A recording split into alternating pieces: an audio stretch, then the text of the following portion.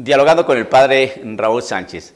El Evangelio según San Lucas, capítulo 15, versículo 11 en adelante, nos narra esa parábola del hijo pródigo o del padre misericordioso. Quisiera rescatar eh, algún elemento que considero que es importantísimo y nos va a servir para nuestra vida de fe, por supuesto. Se puede uno preguntar ¿Será que el hijo se arrepintió? ¿Será que ese hijo menor se arrepintió? Recuerde usted, querido amigo, que la parábola nos habla de dos hijos, uno mayor y uno menor. El menor fue el que se fue, no sin antes pedirle primero la herencia a su papá.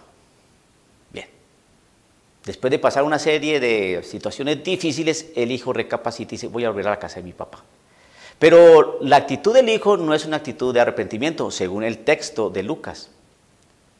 Cuando uno se arrepiente, siente uno dolor en su corazón. Eh, piensa, ¿qué fue lo que yo hice con mi papá? Prácticamente lo maté, le pedí la herencia. Es que no me interesaba mi papá, lo que ha hecho, lo que había venido haciendo conmigo, cómo me, dio el ser, me educó, me formó, me, me dio bienes, me sacó adelante. ¿Y yo qué hice?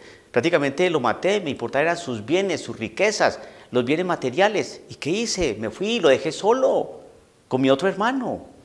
¿Qué, qué estoy haciendo? ¿Qué hice, Dios mío? Estoy tan arrepentido de haber tratado a mi papá como basura. ¿Qué clase de hijo soy yo? E, el hijo no pensó nada de eso. Mire lo que hizo el hijo. Porque mucha gente piensa, el hijo se arrepintió. No, el hijo jamás se arrepintió de el daño y el dolor que le causó a su papá cuando se fue, prácticamente liquidándolo, pidiéndole la parte de la herencia que le correspondía. En el versículo 13 de este capítulo 15 de San Lucas, dice así, este de contexto. El hijo menor juntó todos sus saberes y unos días después se fue a un país lejano Allí malgastó su dinero llevando una vida desordenada. Cuando ya había gastado mm, eh, todo, sobrevino en aquella región una escasez grande y comenzó a pasar necesidad. A pasar necesidad. Fue a buscar trabajo y se puso al servicio de un habitante del lugar que lo envió a su campo a cuidar cerdos. Hubiera deseado llenarse el estómago con las bellotas que daban a los cerdos, pero nadie se las daba. Aquí empieza la situación. Finalmente recapacitó y se dijo, ¿qué se dijo? Mire lo que se dijo el hijo. Eh, Dios mío, ¿cómo ofendí a mi papá? ¿Cómo lo he hecho llorar? Prácticamente soy un mal hijo. Le pedí la herencia, me importaba su riqueza, me importaba era sus bienes materiales. Soy un hijo malvado, Claro, me voy y me gasto el dinero y ahora sí, cuando estoy todo vuelto una nada, así a la casa de mi papá, yo soy muy mal hijo. ¿Qué hijo soy yo? Estoy muy arrepentido de mi conducta. No, no, no. No pensó eso. Recapacitó la situación de necesidad que estaba viviendo y esto fue lo que se dijo. Finalmente recapacitó y se dijo, dos puntos. ¿Qué dijo? ¿Cuántos asalariados de mi padre tienen pan de sobra mientras yo aquí me muero de hambre? Tengo que hacer algo. Tengo que hacer algo. No está arrepentido, no se arrepintió, estaba mirando su situación de necesidad. Y entonces puso a pensar en más bien los, en los empleados que tenía su papá que vivía mejor que él. ¿Cuántos asalariados de mi padre tienen pan de sobra mientras yo aquí me muero de hambre? Tengo que hacer algo. Volveré donde mi padre y le diré, Padre, he pecado contra Dios y contra ti, ya no me merezco ser llamado hijo tuyo. Todo una retaíla, todo un cuento para acolchonar la llegada nuevamente a la casa. No se arrepintió. Estaba pensando era en sus necesidades y todavía pensando de manera materialista.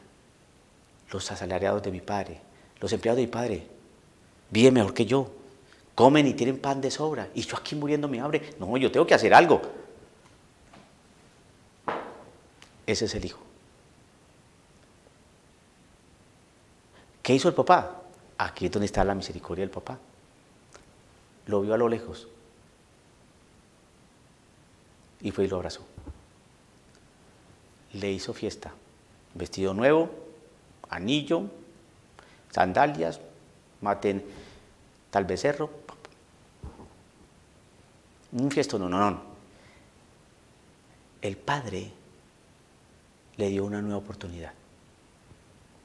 El hijo no se arrepintió, volvió por necesidad, pero el padre teniéndolo ahí en su casa es como decir, mi hijo, es una nueva oportunidad. Por eso el vestido, por eso la fiesta, por eso el anillo, por eso el nuevo calzado, por eso.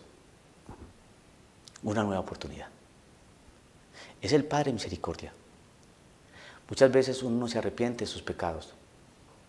Y sin embargo el Padre tiene misericordia. Es decir, una nueva oportunidad.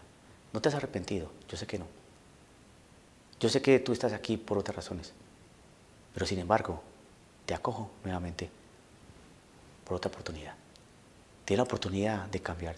Tienes la oportunidad de arrepentirte. Tienes la oportunidad de rehacer tu vida.